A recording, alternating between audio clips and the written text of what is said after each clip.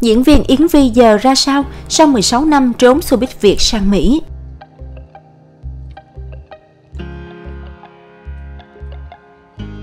Diễn viên Yến Vi sinh năm 1979, tên đầy đủ là Đinh Thoại Yến Vi.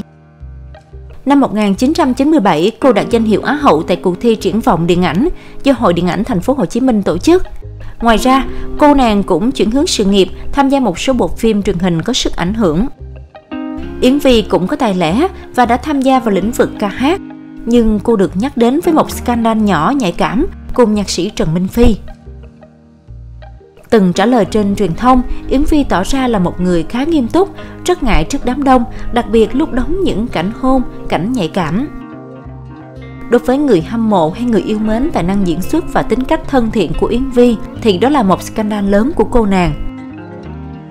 Khi clip nhạy cảm phát tán rộng rãi trên mạng xã hội và truyền thông thì cô vướng vào một rắc rối khác, nghiêm trọng và ảnh hưởng đến cả sự nghiệp của mình. Đứng giữa tâm điểm của dư luận, Yến Phi cho rằng đó là clip nóng nhạy cảm được quay lén và trước mặt truyền thông, cô tuyên bố rằng sẽ kiện bạn trai mình vì hành động trên.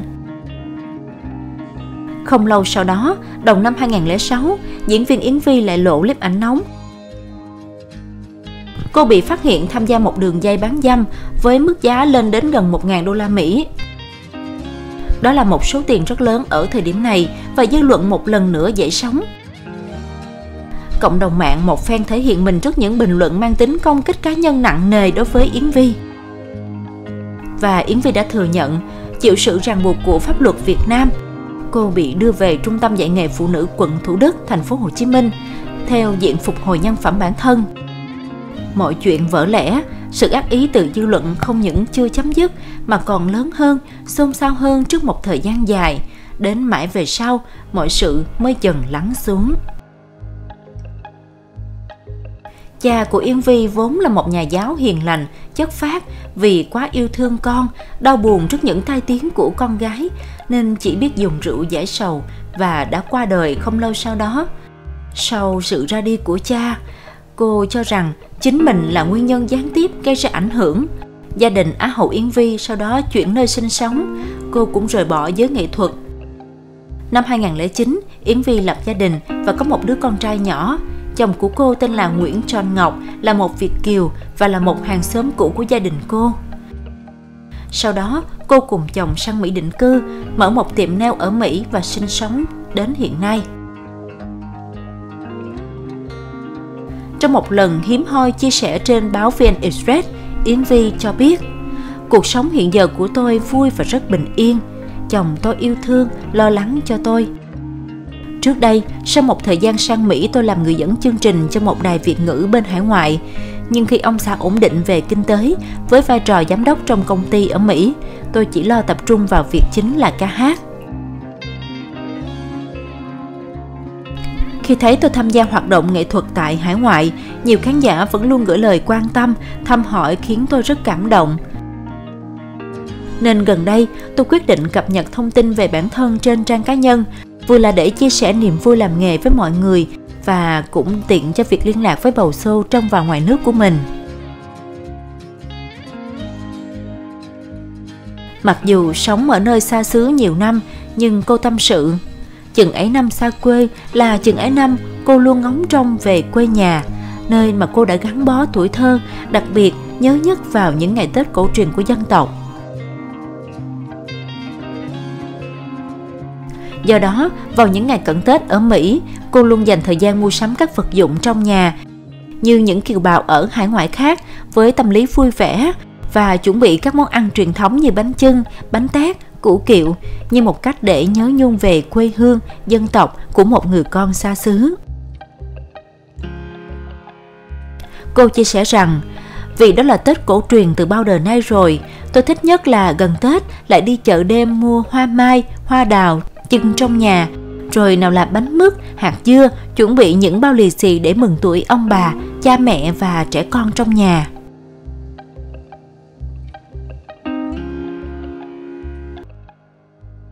Nguyễn Hồng Nhung gần 20 năm sau lùm xùm lộ ánh nóng. Nữ ca sĩ tay trắng làm giàu nơi đất khách, hai cuộc tình khắc cốt ghi tâm nhưng vẫn chưa tìm được bến đổ cuối cùng.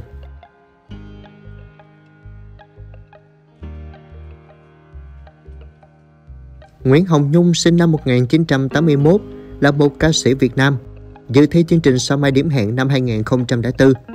Hiện tại, Nguyễn Hồng Nhung đang định cư tại Mỹ và đang cộng tác cho nhiều trung tâm ban nhạc hải ngoại Cô được xem là nạn nhân đầu tiên bị tung ảnh khỏa thân riêng tư và bị lôi vào scandal nhạy cảm. Trong các vụ scandal nhạy cảm tiếp theo sau tại Việt Nam, báo chí lại nhắc đến cô.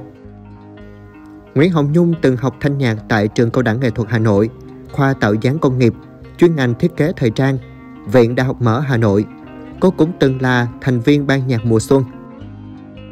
Năm 2004, Nguyễn Hồng Nhung tham gia cuộc thi Sau Mai Điểm Hẹn của VTV3 và là một gương mặt khá ấn tượng tại giải. Sau đó, người tình cũ của Nguyễn Hồng Nhung là Lê Vĩnh Thắng tố cáo cô đã lấy số tiền 90.000 đô la Mỹ của anh để tiêu xài và lo cho việc chạy đua vào vòng trong của giải sau Mai. Vài ngày sau đó, trên mạng Internet xuất hiện những tấm ảnh khỏa thân của Nguyễn Hồng Nhung. Tiếp đó, trong khi trả lời phỏng vấn báo Thanh niên, Lê Vĩnh Thắng đã khẳng định chính mình đã đưa ảnh khỏa thân của Hồng Nhung ra trước công chúng để nói lên lối sống xa đọa của người tình. Nhờ scandal đó mà so với các thí sinh sau mai điểm hẹn khác, Nguyễn Hồng Nhung đã trở nên nổi tiếng hơn, có thu nhập cao hơn và được nhiều người hâm mộ hơn. Cô được xem là nạn nhân đầu tiên của cơn sốt truyền bá ảnh khỏa thân và phim set của giới nghệ sĩ.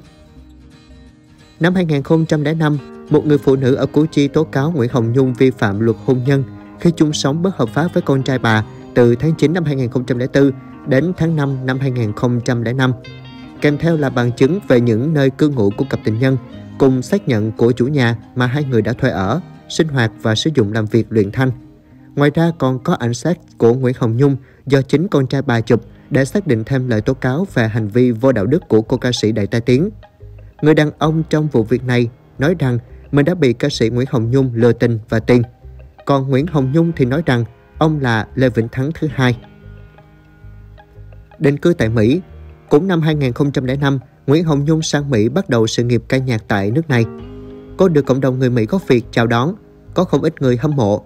Trong 2 năm 2005-2006, cô đã có ba album riêng. Cô cũng đã lập gia đình với em trai của ca sĩ hải ngoại Trisis Phương Trinh, vợ của ca sĩ Bằng Kiều, vào năm 2010 và có cuộc sống ổn định tại Mỹ. Biến cố ám ảnh nhất cuộc đời và hai cuộc hôn nhân thất bại. Sự nghiệp mới chấm nở của Nguyễn Hồng Nhung bỗng chốc tan thành mây khói khi cô bị bạn trai tung ra những bức ảnh và clip nóng.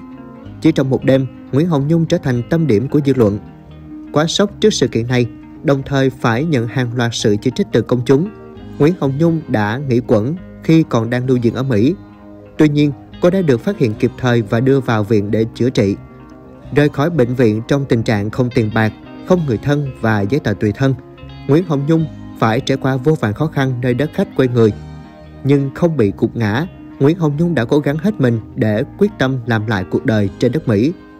Bên cạnh việc phải một mình bưng trải nơi đất khách quê người, nữ ca sĩ còn từng bị bầu show lừa tiền của show. Tôi tự mình vượt qua tất cả, học tiếng Anh, tiết kiệm tiền để mua xe, thi bằng lái để chủ động hơn trong cuộc sống. Tôi nỗ lực hát thật tốt để khán giả đến xem tôi phải nghe hát thay vì xem cô ca sĩ vướng scandal, Hồng Nhung nói. Nguyễn Hồng Nhung tâm sự rằng ban đầu cô không hề nghĩ bản thân sẽ đi và phải ở lại xứ người. Nhưng khi mọi thứ xảy đến, cô đã phải dùng nghị lực của mình để bước qua gặt hái thành công tại hải ngoại. Nguyễn Hồng Nhung và chồng cũ có 2 năm tìm hiểu trước khi tiến đến hôn nhân.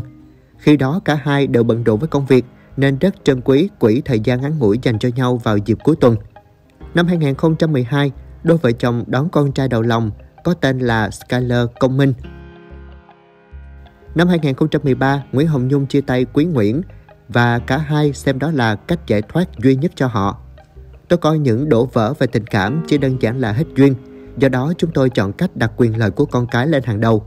Nữ ca sĩ chia sẻ, cô từng trải qua hai cuộc hôn nhân Nguyễn Hồng Nhung kết hôn lần đầu tiên với Quý Nguyễn, một kỹ sư công nghệ thông tin, vào ngày 30 tháng 7 năm 2010 tại Mỹ. Quý Nguyễn là em trai của Jesus Phương Trinh, vợ cũ ca sĩ Bằng Kiều. Năm 2015, Nguyễn Hồng Nhung nên duyên với doanh nhân Minh Quân và sống chung với nhau như vợ chồng. Sau đó, Hồng Nhung sinh con gái Kim An. Con trai riêng của Hồng Nhung, bé Skyler, mắc chứng tự kỷ từ nhỏ nên cần sự quan tâm đặc biệt.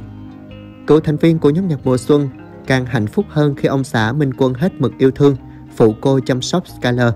Tháng 9 năm 2019, thông tin Nguyễn Hồng Nhung chia tay ông xã doanh nhân gây rất nhiều bất ngờ cho công chúng. Cặp đôi đường ai nấy đi được vài tháng và không muốn gây ồn ào về chuyện đổ vỡ. Trong chia sẻ với truyền thông mới đây, Nguyễn Hồng Nhung cho hay sau khi kết thúc cuộc hôn nhân thứ hai, cô gặp rất nhiều tin đồn thất thiệt. Nữ ca sĩ còn khẳng định rằng bản thân đã mất niềm tin với đàn ông vì đã chịu quá nhiều đau đớn. Hiện nữ ca sĩ tập trung công việc vì muốn lo cho tương lai của hai con.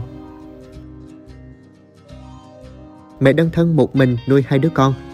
Cuộc sống của Hồng Nhung ở đất Mỹ rất ổn.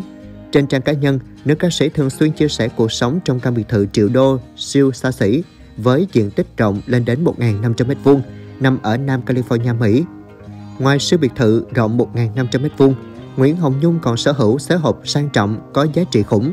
Thậm chí vào giữa tháng 7 năm 2019, nữ ca sĩ hải ngoại còn gây xôn xao khi tự lái siêu xe có giá sương sương 500.000 đô la Mỹ, hơn 11 tỷ đồng khi đi dự một sự kiện ở Việt Nam. Vào thời điểm khi ở Mỹ bắt buộc thực hiện giãn cách xã hội do dịch bệnh, Hồng Nhung phải tự mình chăm các con vì không có sự hỗ trợ của người giúp việc. Bù lại, nữ ca sĩ lại có nhiều thời gian ở bên hai con. Tuy nhiên, việc tự mình dạy dỗ hai con cũng không phải điều dễ dàng, nhất là con trai của cô còn mắc chứng tự kỷ. Ba mẹ hai con đảm nhận nhiều vai trò cùng một lúc như giúp con trong những sinh hoạt hàng ngày, dạy con học, chơi cùng con. Ngoài những lúc đi diễn ra, phần lớn thời gian Hồng Nhung đều dành cho các con. Trong lần chia sẻ gần đây nhất với truyền thông, Hồng Nhung cho hay cô đã về Việt Nam Tiết lộ về nguyên nhân trở về Việt Nam lần này, Hồng Nhung nói dịch bệnh không chỉ khiến cô lao đao mà mọi người trên khắp thế giới cũng gặp tình trạng tương tự. Bên cạnh đó, không chỉ riêng vấn đề thu nhập, chuyện không được hát và gặp gỡ khán giả cũng khiến cô như bị trầm cảm.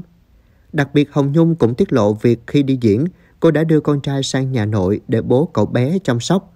Hồng Nhung cho hay bản thân đã nuôi dạy con trai 8 năm, con trai hiện giờ cũng đã trưởng thành và cần những hoạt động thể thao. Đó là lý do Hồng Nhung dành phần lớn thời gian để con trai ở bên nhà nội để bố hỗ trợ.